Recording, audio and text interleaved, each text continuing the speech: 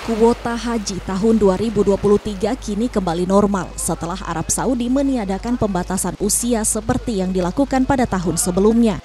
Kepala Bidang Penyelenggara Haji dan Umroh Kementerian Agama Provinsi Gorontalo Ibrahim Tetore menyebut tahun 2023 Gorontalo mendapat kuota haji sebanyak 981 jamaah. Kuota haji Gorontalo sudah termasuk sejumlah jamaah yang ditunda keberangkatannya pada tahun 2022 karena aturan pembatasan usia dari Arab Saudi. Meski tak memperlakukan aturan protokol kesehatan, Kementerian Agama Provinsi Gorontalo meminta kepada jamaah calon haji untuk tetap menjaga kesehatan.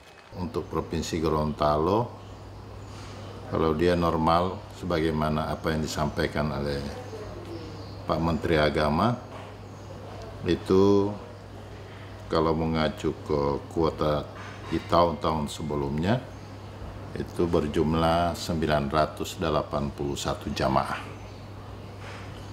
Pak dari 900 sekian itu yang ditunda keberangkatannya kemarin itu akan ikut tahun ini? Ya, Alhamdulillah yang sudah bisa dipastikan untuk berangkat tahun ini adalah sisa kuota yang tertunda tahun kemarin. Saat ini Kementerian Agama Provinsi Gorontalo sudah mulai melakukan berbagai tahapan pelaksanaan ibadah haji, mulai dari seleksi petugas pendampingan jamaah dan pemetaan daerah jamaah calon haji. Mamat Kaida, Kompas TV, Gorontalo.